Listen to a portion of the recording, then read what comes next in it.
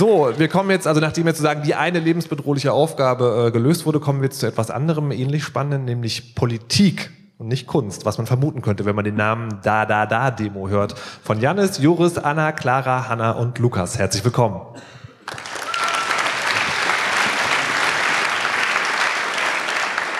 Äh, ja, hallo. Wir sind, äh, wie gesagt, da, da, da, Demo.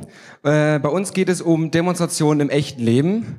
Wie gesagt, man kann mit Code die Welt verbessern, aber manchmal reicht eben nicht nur Code. Und deswegen haben wir Code dafür geschrieben, dass man die Welt verbessern kann. Naja, ähm, auf jeden Fall, ähm, ja, wir ähm, wollen eine Plattform für den Austausch über Demonstrationen, ähm, oder haben wir eine gemacht. Und äh, Hanna erklärt euch erstmal, was überhaupt unsere Pro Problemstellung war. Also ähm, das Problem war halt, dass es oft viele coole Demos gibt, von denen man nicht so leicht erfahren kann.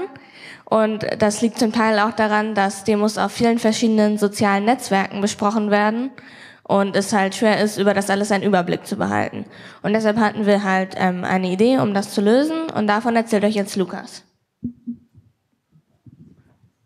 Okay, gut. Also auf der Webseite kann man oder auf der Web-App kann man Demos erstellen, wenn man eine veranstalten möchte. Man muss die aber anmelden, das ist nicht unsere Aufgabe.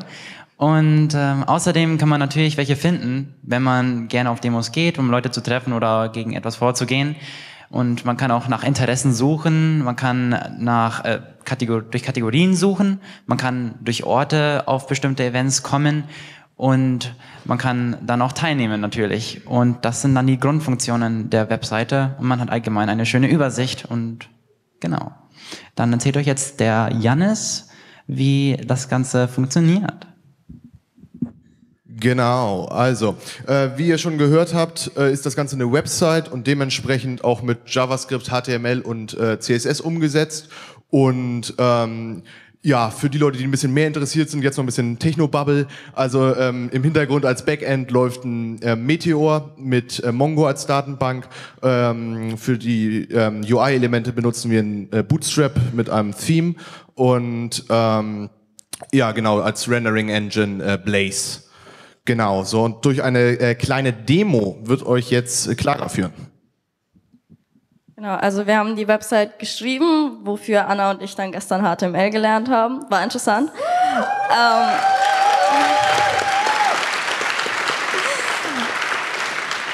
also wie man sehen kann, haben wir verschiedene Login-Bereiche. Einmal rechts oben der Login für die Menschen, die bereits ein Konto haben und dann unten das für die Leute, die noch kein Konto haben sich erst registrieren müssen. Sobald man sich registriert bzw. angemeldet ist, sieht man dann Demos, die man entdeckt und die einem gefallen könnten. Wir haben jetzt ein paar Beispiel-Demos erstellt. Mein persönlicher Favorit ist natürlich der mit den Einhörnern. Also wir setzen uns für die ähm, für Einhörner ein, damit sie nicht aussterben. Die sehen wir gleich hier, weil Einhörner sind wichtig. Sie sind flauschig und knuffig. Abgesehen davon kann man natürlich auch neue Demos erstellen. Es ist relativ einfach. Man braucht eigentlich nur einen Damen da wir uns diesmal für die Mate einsetzen, also gegen den begrenzten Mateverkauf bei Jugendtext, ist das auch der Name. Und ja, man, man muss die Demo nur kurz beschreiben und dann ist es eigentlich gleich fertig. Genau, und Anna sagt euch noch ein paar Features, die wir noch zusätzlich eingebaut haben. Also zusätzlich dazu haben wir noch die persönliche Startseite. Das sind auch, also in der Nähe, also man kann nach Orten suchen und wenn man einen Ort hat, dann werden, ihm, werden einem immer die nächsten äh, Demos angezeigt. Wir haben ein paar Kategorien gemacht, ähm, nach denen man auch suchen kann. Und wir haben es jetzt mal grob nach Bundesländern gemacht. Das ist für Bayern natürlich ein bisschen überflüssig, weil Bayern ein bisschen groß ist. Aber es funktioniert. Okay. Also wir wollen noch ein Dankeschön an Jürgen Hecht aussagen, dass wir das machen konnten und dass es uns ermöglicht wurde und an Leo, der jetzt hier irgendwo sitzt und ich weiß nicht wo, der uns HTML beigebracht hat. Ein Applaus für Leo.